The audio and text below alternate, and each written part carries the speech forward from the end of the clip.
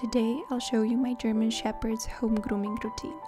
Put your headphones on and enjoy this ASMR session.